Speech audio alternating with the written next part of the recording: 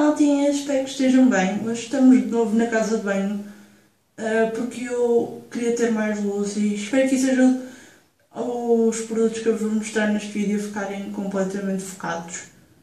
Uh, porque eu acho que a falta de luz no meu quarto desfoca um bocadinho. Uh, além disso, assim, aproveito para testar este cenário para caso precisasse fazer mais vídeos aqui.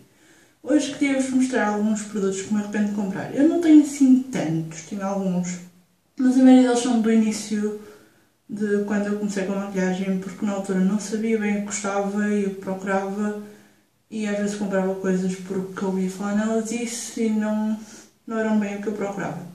Então, a primeira coisa que eu comprei, que eu tenho certeza que não gosto e foi mesmo logo na primeira vez que eu fui à MAC, foi a sombra na cor Typographic, que é um... Bem, eu pensava que ele era um preto mate, mas ele é mais uma espécie de chumbo sem brilho mate. Uh, e basicamente eu comprei na altura para um, cobrir o eyeliner mas para já nunca, nunca uso sombra preta, primeiro de tudo. E depois ele é muito poeirento, cai imenso e faz uma grandíssima porcaria. E depois não é preto, ou pelo menos não é muito preto.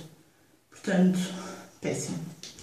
Depois, comprei este pincel da Sephora, de, de base daqueles tipo clássicos. E isto custou-me 14 euros, acho eu.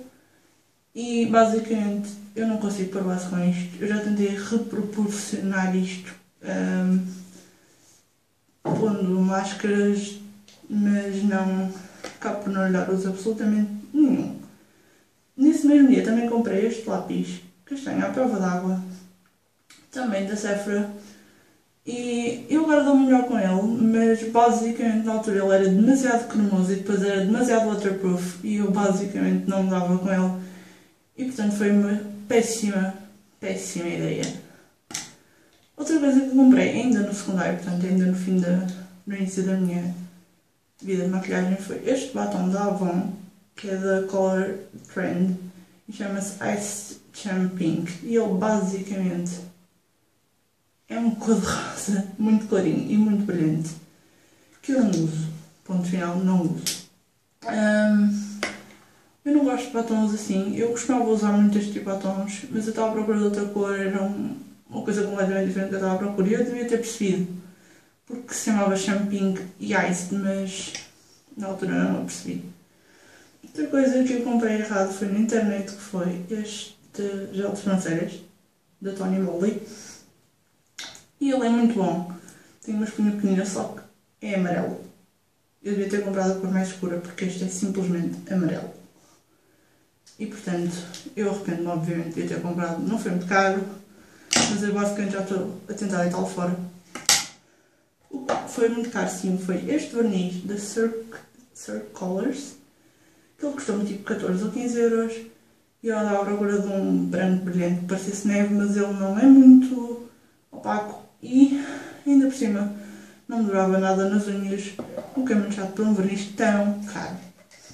Finalmente temos lápis um, este é da Avon, é o Super Shock na cor Kaki. Ele é lindo, lindíssimo. Só que é muito, muito, muito cremoso e o meu é tipo extremamente mole. O que faz com que ele basicamente esteja sempre a partir-se e tenha de estar sempre a ser um, afiado. O que não é ideal, como vocês podem imaginar. Um, eu acho que é só o meu que está mal, porque eu sempre ouvi dizer bem destes lábios, mas e além disso eu tenho outro estilo e o estilo funciona bem, mas aquele não. A última coisa que eu tenho a mostrar são estes lápis da Oriflame, que são tipo aqueles batons em lápis. O problema deles é que os meus deixaram de subir e eu não os posso usar. Basicamente falando, diz que estou 650 tutuyoruz i kesir. Eu acho que eu um direito nunca mais queria um, um lápis por causa daquilo. E hum, acho isso horrível. Portanto, não sei como é que são os outros, não sei se eles melhoraram tanto porque eles são um bocadinho antigos, mas não os aconselho, a verdade é essa. Outra coisa que eu tinha para vos dizer era o batom da Maybelline da College Sensation, uma cor, choco ou qualquer coisa mas eu não o tenho aqui e agora não sei onde ele está. Mas basicamente o meu cheiro é mau. e não é pigmentado. Eu não sei se ele entretanto se estragou, mas eu tenho a ideia que ele sempre foi assim. E foi isto. Espero que tenham gostado. Espero ver-vos da próxima vez. Não se esqueçam de gostar, de subscrever, de favoritar. E até a próxima. Beijinhos.